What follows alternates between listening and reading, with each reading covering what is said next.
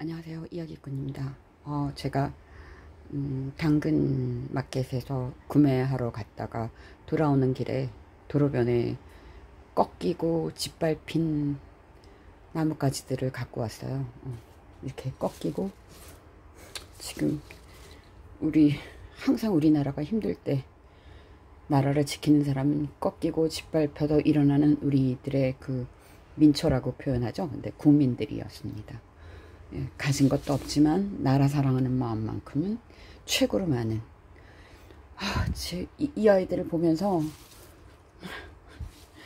어떻게라도 살려보려고 제가 가져왔어요. 눈물 나요. 저는 얘, 얘가 지금 우리 국민들 같아서. 모든 도로변이 그랬던 게 아니고요. 어느 도로변에서만 꺾여진 게 그 일부 구간이 있어서 거기서 다 주워온 거고 어, 걷는 많은 길에는 전혀 이런 일이 없었습니다. 누군가가 꺾어버렸나 봐요. 그래서 이건 저는 어떻게 할 거냐면 1단계는 얘네들을 가위로 자르고요. 이 뭐 이렇게 된 데는 어떻게 살릴 수 없으니까 얘네들은 자르고 그래서 그리고 뭐 이렇게 짓밟혔잖아요. 완전히 짓밟히고 뭐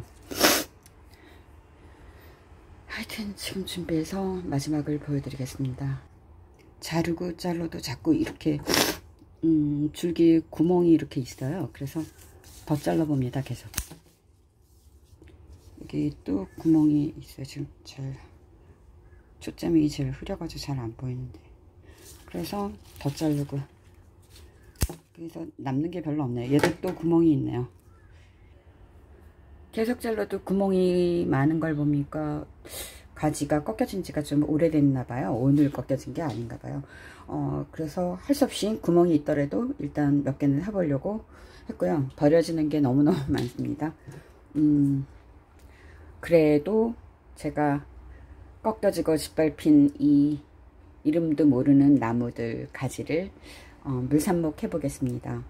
아시죠? 그거는 그 다음에 그러니까 일단은 쟤를 소독할 거고요. 그 제가 잘 아는 어, 수돗물에다가 유한낙스, 리스테린, 뭐 알코올, 그 다음 음, 그러니까 소주, 그러니까 그 식초, 음, 주방세제, 뭐 이런 다양한 거를 넣어놓고 그러니까 약간씩요 넣어놓고 그 얘네들 담가 30분 이상 담갔다가 깨끗이 닦아서 그 다음에 음, 수돗물에다가 식초 한 방울 넣고 얘들을 어, 그러니까 뿌리가 바닥에 닿지 않게 어, 뭐죠?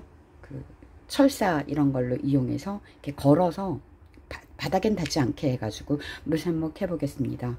물론 모두 다 죽을 수도 있죠.